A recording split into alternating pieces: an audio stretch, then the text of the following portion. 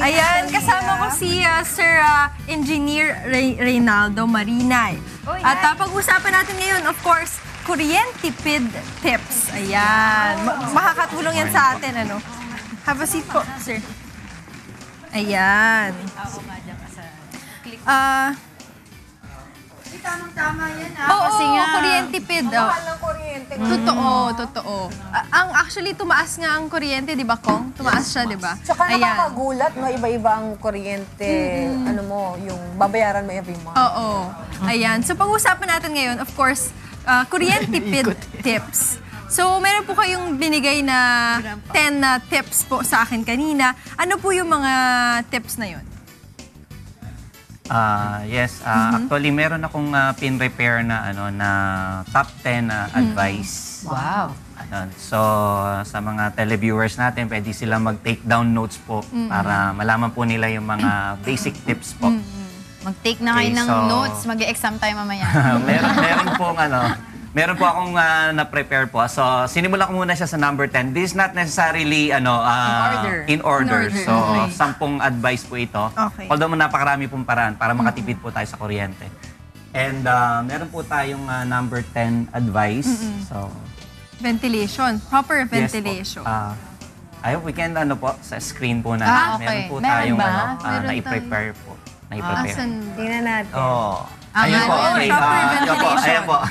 so, yung number 10 po, ayan po, ah, ni-research ko po talaga siya. Na I think this is these are the best uh, energy saving tips. So, number 10 po is uh, proper ventilation. So, ah, una po, kasi pag mainit po ang isang building o isang bahay natin, so mas malaki po ang difference niya doon sa ambient o yung sa room temperature po na normal temperature. gagamit ka ng So, mas malaki po ang Electric energy fan, consumption nun. Aircon, So, yes. ayun po. So, ah, let's say, not necessarily mag-exhaust, mag ano tayo, maglagay tayo ng exhaust fan, ganyan. Kasi syempre, energy cost din yun. Let's say, yung window natin, pwede natin buksan. Yung pin, ah, wag na siguro yung pinto, baka may pumasok. Ang so, let's say, yung mga window po natin. So, ayun po, pwede po nating gawin yun. Yan po yung number 10 po. And then, may number 9. Okay. Ito po yung number spacing 9. of So, uh, proper spacing of refrigerator. So, ano pong ibig sabihin yan? Epekto So, pala, no? uh, yung... uh, kasi po, ganun pa rin po yan. So, nandoon pa rin po siya sa, ano, sa proper ventilation. Kasi yung ref po natin, lalo po yung likod ng Oh, ref. So, mainit. wag po na, mainit po. Huwag So, ididikit. meron po kasi siyang motor compressor. So, dapat po well ventilated po yung ating refrigerator. So, let's say mag-allow po tayo ng uh, at least 2 or 3 centimeter from So, the wall. bawal Yung likod nakadikit sa wall, yes di po, ba? Kasi yung iba po, may mga nakikita ko talagang Sagad. dinidik- Dikit-dikit. nasasagad po. So, ako po, lagi ko rin sinecheck yung Oo. likod nung ano po namin, ng uh, ref po namin. Ina-adjust ko po siya. At saka yung left and right side po, mas maganda po, we allow 2 to 3 centimeter po yung distance ng mga objects po sa gilid. Oo, po niya. tama. Alam So, ko yan na yun po. mainit yung likod ng ng ref Yes, nun eh. Kasi doon ako nagpapatuyo dati ng sapatos. Nahirapan So kasi yung tama motor ba yung aming compressor ref? natin. Sir, tama ba yung Opo. aming Tama ano? ba? Sige po, i-check natin. Check natin mamaya. mamaya. Saksak ba yung ref? Ayun po. And then, Yan ang uh, magandang tipid tip. Oo. Huwag isaksak ang ref. And then may next. next po. Ayun po, ah, we can put insulator on roof. So, kung ah, metal roof po, ah, gaya po sa ating studio po, sa mga bahay po natin, yung ah, insulator po, yung kulay silver po Yes. siya. So, mas maganda po maglagay po tayo doon ng ah, insulator. So, still, doon pa rin po siya sa ventilation. Ano po So, yung insulator? Tsaka saan saan ba ito nabibili? Hindi Sa ko may alam. ceiling. I don't Hardware know po. ano yung Sa insulator. ceiling nilalagay yan. Yes, sa ceiling po. Ah, talaga? So, yung kulay silver po siya. Silver. Di ba? Parang foil. Insulator Opo. tapos ceiling. Di ba? Yung Actually, nilalagay pwede mo nga po sa... siyang higaan. So eh. required yan pagka magpapatayo. So, parang may Papatayo kutsyon na Nakakita ka sa kotse, yung pang pang shield ng lights foil against the kotse, parang Eh, kung wala silver naman, siya, ano, parang Meron ganun. ba? Pwedeng iba? Iba ilagay? Nag-costume. Pwede bang, pwede bang alternate karton? ba? Ganon? Pwede bang karton? Karton na Ah, binalot ng usually foil. po kasi yung Oo. insulator, although makakatulong din po kung let's say less yung budget po ng Oo. ating mga kasambahay po. So pwede po yung karton. Okay. And then Number next po, seven. ah, as much as possible, no, full load your washing machine. So ibig pong sabihin, let's say yung washing machine po, may mga adjustment po kasi yon. Let's say for 5 minutes, 10 minutes, let's say, di ba, kung 10 minutes, let's say mga 10 to 15 na t-shirt. So sundin po natin yon. Let's say wag nating isa, dalawang t-shirt lang po. So kasi po, ang washing machine may motor po yan, may electric motor. Sayang so, yung ang, ikot. Opo, ang motor po natin, pagka po siya on full load, mas maga- mas high efficient po ang motors natin. So ayun po, kaya pag nag ah, ano po tayo, naglaba po tayo, full load natin siya. Kasi habang Pero wag naman po i-overload. Habang bumibigat, mas gumaganda Mas yung ano, yun. takbo. Basta po yung capacity niya po, Oo. yun po ibig sabihin ng full load, yung capacity niya po masunod. Ayun. So ayun po. Number six. Okay, then number six Number advice. six. Choose Okay, so choose a higher energy efficiency factor. So ano po ba to? Ito po yung yellow label na makikita po yeah. natin sa mga ref at saka sa air Mga conditioning appliances, appliances po. So uh, this according to Department of Energy, so the higher the number, so mas makakatipid tayo. Yes, if the very The bigger the savings. Okay. So, ayun po, yung yellow label. Tingnan nyo po yung yellow label. So, mas mag, mas mataas na value, mas maganda po siya. Okay, Ayun pang po. fifth. And then, the pasok sa fifth top advice five. is, buy a lower Yan. wattage appliance. So, pag bumili po tayo ng appliance, di po natin na kas- kailangan Ba, kasama yung electrician. Ba, Let's say, tingnan po na, kasi lahat naman po ng mga appliance, meron po siyang ano, um, nameplate po.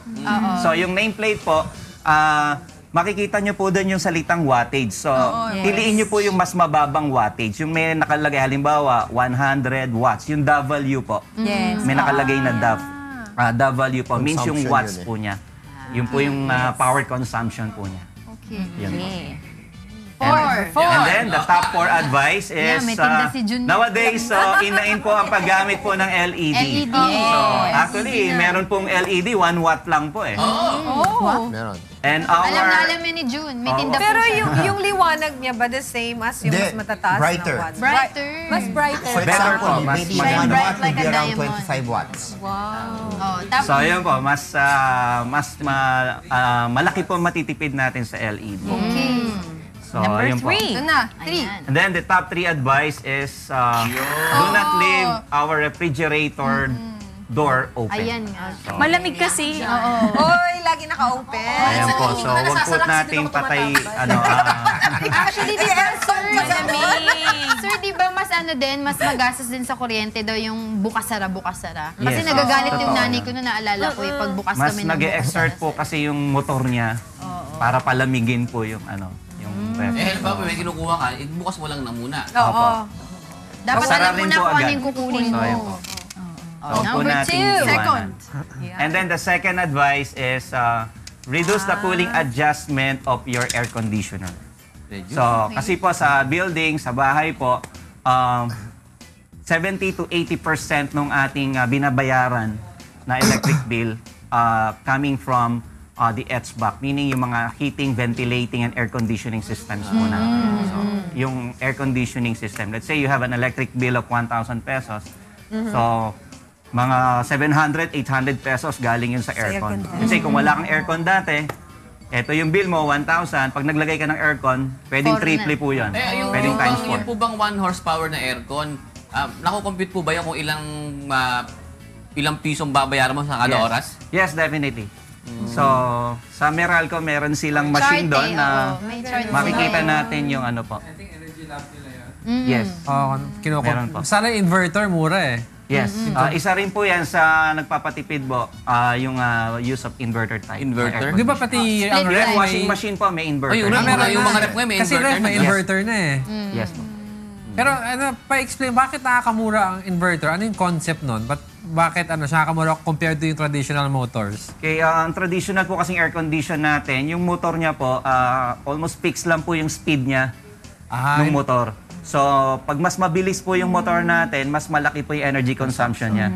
Wherein, ah, pag gumamit tayo ng inverter type, lalo, let's say yung isang kwarto, eh, kokonti lang po yung gumagamit, i-adjust po ng inverter yung speed po ng motor natin. So, pag bumagal po yung motor natin, less po yung consumption nun. Ah, so nag nagsi-self-adjust din siya paminsan-minsan? Yes po. Depende Yun po ang sa maganda, opo. temperature, ng Temperature. room din? Okay. Kasi po meron siyang tinatawag na adjustable speed drive. Yeah. So, yun po yan. So, ina-adjust niya po uh, Dun sa automatically. pangangailangan. Dip- kung ano lang po yung kailangan, let's say, ng room, yung, yung lamig, yun lang po siya. Okay, ano yung una-una naman sa ating And then, ah, saving ang una, pinaka-basic to actually Ay, po eh. oo. Ayan na. So, ito po pinaka-basic. So, turn off unused plugs and lights. So, Yan ang kung basic talaga. Basic makalimutan. Oo, Oh, yan. yeah. Guilty din ako Diba? dyan. Tsaka di ba dapat ah, kahit hindi mo ginagamit, halimbawa charger, tatanggalin mo siya sa pagkaka-plug kasi Yes still nagkukonsumo siya ng kuryente. Tsaka Yes di ba sir, Oh, yung mga extension Extension, yun na yung may sabi mga ko sa switch. Oo. Di ba Oh. yun, dapat i-off mo din yun kahit Oh, na okay, walang naka-plug ko nakalagay. na. Kasi it, it also consumes electricity. Yes, definitely. Pagka kasi yung plug natin ng- ng appliance, so pag nakasaksak yan, let's say nag-charge tayo ng cellphone natin, and naiwan po natin na nandun pa rin siya sa outlet, meron po siyang uh, energy consumption din. So meron po siyang uh, a certain amount Ako may tanong na, ako. na kinoconsume po. Sinasabi kasi nila yung plancha daw ang isa sa malaki, Oo, malakas Yes, consume ng ano ng kuryente. So paano ang pwede natin gawin para maiwasan nyo? Kasi hindi naman pwede tayong hindi magplancha. Kaysa gusto. ha? Ito, ate- ate- ako muna, ito ah. Ayan, ayan. Ganito gawin mo. Kanino mo yan natutunan, Kati Ganito gawin mo ah. Bili ka ng uling. Pero kung may tip ako, may tip ako sa pagpaplansya. Sabi nila, kapag daw magpaplansya ka, tama ba sir, unahin daw yung mga, mga like yung maong, yung medyo Ah, mabibigat na, na tela. Tapos, di iinit yung plansya. Tapos kapag ah, medyo malapit ka na matapos, yung sa lighter materials, na. pwede mo nang i-unplug. Kasi mainit pa naman yung plansya mo. Mas madali siya. t-shirt na lang. Plansya. Ayan. Maganda. Tsaka daw, ano, pagka magpa-plancha ka, kailangan sabay-sabay. Huwag pa isa-isa, di ba? Kung ano lang. Bawa, magsusuot ka ng polo ngayon, isa lang. Ayun, yun ang O, ibalik mo ulit tanong kay engineer. Oo nga. Oh, tayo, ah, Ano nga ba? dapat wag muna natin itotodo kagad siya doon sa ano. Any Ah, appliance po, like, let's say electric fan, aircon, wag po natin itotodo yung adjustment niya po. Paano pag plancha Kahit ng light ano, po muna. medyas na advice nyo? Ah, yung mahina lang po. joke Ay, yung Hindi ba pag tinodo mo kaagad? hindi. Engineer, pag tinodo mo ba kaagad? Biglang ganun ang kuryente nun? Mag-exert siya ng effort. Pag tinodo mo kaagad? Yes po. So meron po tinatawag na surge current o yung transient current po. Yung unang dating po kasi ng kuryente, yun po ang malakas. Ano yun. naman po yung ma-advise nyo sa amin, tsaka buto sa nanonood sa amin? Kasi pagka nagba-brown out, tapos bigla na lang babalik yung kuryente, ano po ba dapat gawin pag nag-brown out? Unplug lahat para po makatipid o ibalik ka agad yung mga plugs? Ano po yung best advice sa mga kuryente tips? So, yun po maganda po i-unplug po natin. Let's say nag-brown nag-brown out, out po. agad, Nag-brown unplug out lahat. po. So tanggalin po natin yung mga Lahat. appliance, then yung Pwede ilaw rin natin masira switch. yung mga appliances, di ba? Pag nakasaksak, tapos Mga energy. pabalik-balik yung kuryente, like refrigerator, di ba? Kasi po ang ah, basic idea po is yung unang dating po ng kuryente, mataas po yan. Lalo na kung mga may motor, may mga Tama. motor po. Would you suggest po na ibaba mo na yung switch ng kuryente pagka nawalan ka ng ilaw? Breaker switch. Yes, okay yung po yan. breaker, no? Oh, opo, okay Tapos po yan. tsaka mo i-unplug. Tsaka po natin, ah, pagbaba po natin, yan plug. Then pagka may kuryente na po, on natin yung switch, tsaka po natin isa-isahin na ikabit yung mga appliance. Eh, engineer, yung mga energy saver na nabibili sa mark, sa mga, palasak na ano ngayon? Dami energy ganun. saver, ano ba Sa yan? market. Oo, yung Ah, sa bahay eh. Ac- Actually, ah, ang ah, Department of Energy kasi, sila kasi yung talagang ano dyan, ah, in charge dun sa pagte-testing. So, based sa Department of Energy, actually nakapunta rin kami dun before. So, nasaksihan niyo po yun? ah, Nasaksihan niyo yung pag-testing yes nila? po. Ah, bali may isang ah, energy saver po na ano, na nag gadget po na nagpa-consult po sa akin. Mm-mm. Ah, actually Hindi. dalawa po 'yon. So Hindi ah, na ano po na Tatago na yung sa isa po pangalang is Monica napatunayan po ng ano ng DOE na hindi po siya ah, effective. Totoo. Because of the self-consumption. Kasi pag kinabit natin siya, nagko-consume pa rin po siya ng ah, power po. Actually, nung may gines tayo, uh, I'm not, hindi ko na maalala kung sa Meralco ba yun or something. Last, uh, this year lang din, sinabi niya yata na hindi talaga daw totoo itong mga... Siyempre, meral ko yun. Hindi, hindi, hindi. hindi Basta energy, ano rin. Ano, Oo. Power love yata yun. Ang sinasabi naman kasi nila, i-minimize or ibababa ng malaki yung power consumption mo. Lalong-lalo na yung air condition. Kasi minsan may specific sila eh. Aircon lang yung power consumption, parang gano'n. So hindi rin yun effective, you're saying. Actually, sa ano po, sa Department, Department of Energy po, ah, kasi mga high-tech po yung mga equipment nila, yung mga test equipment nila. And they prove na hindi po siya totoo. Yun yung nakakalungkot. Basta yun yun, yung mga Nakakalungkot, sampung medyo mahal pa tips. naman yun. Yung mga sampung tips na sinabi ni Yun na Sir, lang gawin. Yun yun, na yung lang. dapat gagawin para makapag-conserve tayo ng energy. That, Yes. that can that can serve 10 maybe uh, 10 to 20 percent. Yun! So, yun po. Actually, uh, masasummarize lang po sa dalawa yung aking mga Tips. energy tips. Is, Okay. Ah, yung isa po is ah, yung proper ventilation. Ma-ventilate po natin yung bahay natin. And then the other one is ah, reduce the usage. So yun lang Kung po. hindi Ventilation kailangan, and huwag gamitin. usage reduction. Moderation. Kung ma- So, yun malamig lang. naman, wag na mag-aircon. Tsaka hinaan po natin yung mga adjustment. No? Yun. Okay, maraming salamat, ah, Engineer Reynaldo Marinay. Siya po isang ah, electrical engineer. Thank you, sir. Thank you, sir. Dami nating natutunan. Kong, kanina nagliligpit ako, may nakita ako dito, parang may karatula. Ano ba to? Ah, yan kasi ay ah, merong kakaibang run, no? Kakaibang Oh, run. the Ako, Great kailangan Leanne ko Run. yan. No? Dahil ah, pers- personal kong kaibigan, no? si Leanne Alejandro, siya'y pinatay nung ah, September 19, 1987. Siya isang student leader and ah, in preparation also for the commemoration of the Declaration of Martial Law, no, eh, meron tayong fun run. Kakaibang fun run ito. Ah, it will be usually fun run sa umaga. Ito hapon, 5 p.m. Tapos may mga obstacle course. Anti-riot police, may barbed wire, no? Gusto ko yan. No, so th- th- this is ko, no? So we will never forget yung martial law and of course yung ah, kaibigan ko na si Leanne Alejandro. He was a student leader of UP and uh, the fun run will be at the UP Sunken Garden. Paano, paano ah, sa Registration. Kung, ka, sasali?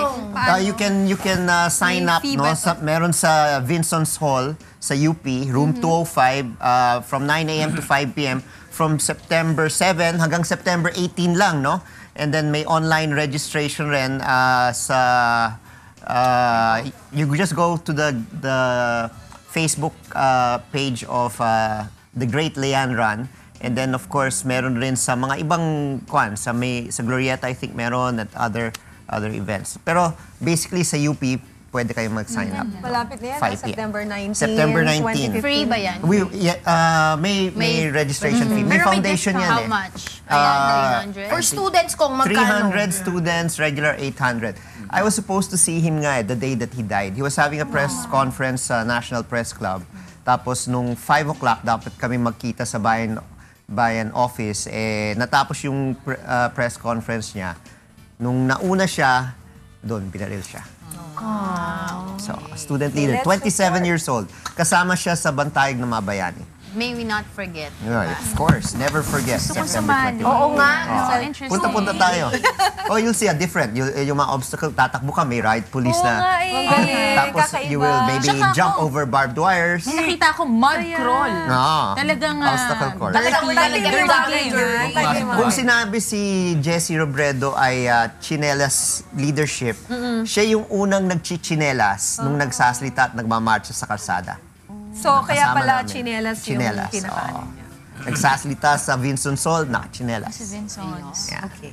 Okay. Well, binabati ka nga pala ni Congresswoman Marcy Chodoro Aha. doon sa Tumana Rizal. Oo nga Yes. pala. Ay, Tumana Marikina City kahapon. Oo, pagka ganun, yung Binabati mga siya. barangay-barangay natin, ipaglaban. Paglaban. Oo, huwag kayo makikinig kung sino-sino yung mga nagpapatigil. Yeah. Tama ka dyan. Boss June. Okay. Oo. Oh, Angel, go ahead. Pwede naman po pa-thank you. Ayan, Go. maraming salamat po kay ah, Hello Happy Viewing kay Tita Jeremy, Baby Rosal at Tatay Chito, and Cynthia Brule and family from Ireland. And of course, si Tita Baby Santos ng FIP.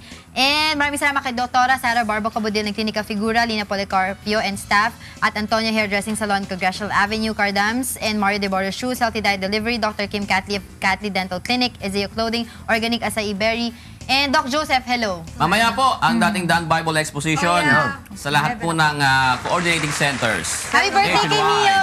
Monica, Happy go. birthday! Red Girl Apparel, Zonelia Shoes, Dr. Socrates Dental Services, Derm Jam, Dr. Daisy Kamitan, Rosie Peel, and uh, Capsinesis. Thank you so much. And uh, Philippine Chef Society. Thank you, thank you so much. Thank you, uh, Signal, Telly Shoes, and uh, Derm Jeb, Dr. Kamitan, Beauty Secrets, and Micaela. Thank you. Oo, batiin ko lang itong mga nakasama natin, UNTV Rescue Team ng Cavite. Actually, live naka-witness ako ng pag-rescue Okay. ng mga taga Cavite. Salamat po na marami sa Diyos. Nakasama natin sila Brad Apollo Carmona, Brad Christian Macaraeg, Brad April John Bustarga, si Sis Jenny Feliciano, si Brad Benedict Samson, at si Brad Randy Foresteros. Sila yung mga nakasama natin. And of course, hello kay sa mga kaibigan ko sa Antipolo City, tsaka sa Montalban, Barangay si BFF Captain ng Tumana. Oo. Tumana. Yung Tumana, yung mga taga-barangay Tumana, napakarami nating napaglingkuran kahapon. Nasa 762 sila at uh, very welcoming naman yung kanilang At nanindigan. captain. At nanindigan. nanindigan sila kasi maraming uh, pumupuna sa atin sa ating mabuting paggawa. Pero siya naninindigan Yung hindi gumagawa ng mabuti, yun pang ayaw ng Hmm. ano, pagawin tayo ng mabuti. Oo, pinipigilan tayong gumawa ng mabuti. Eh, syempre, dire-diretso pa kami. So, kay Dr. Daisy Lim lang kamitan and of course, kay Tita Betty Rolyoda ng Betty's Body Form. Thank you. Siyempre ako ko, gusto ko pasalamatan ang Mothers Club, lahat ng Mothers Club, dyan sa lahat ng lokal. And of course, hello to my mother and father. Mag magre-regi- magre-register na kami later ko. Okay. Yes! Tapos, Cover ka. ah, mamaya po magkita-kita po tayo dyan sa barangay. Uh, uh, uh, te-text ko na lang sa inyo kung anong pala. Tapos, hello sa ta- nanay and tatay ni Kuya Jojo. Hello! Engineer Ray, baka may babatiin kayo. Sawa mo. Opo, ah, I would like to greet my wife and my Yo. mother. Yeah. Ano pangalan, ano pangalan ng wife? Oo, ah, Maribel. Ito may wife maluto, mga kids, Miguel, Jared. Hi! Diego, okay na? Okay na. Okay na? Jun, okay na? Pinandilan daw ni Okay, yung mga taga-gumaka, welcome to UNTV. Of course, uh, susunod na po ang Get It Straight with Daniel Razon. Next week, God willing, salubungin po natin ang isang ngiti, ang isang panibagong umaga at sabay-sabay tayong bumati ng isang... Good morning, Kuya!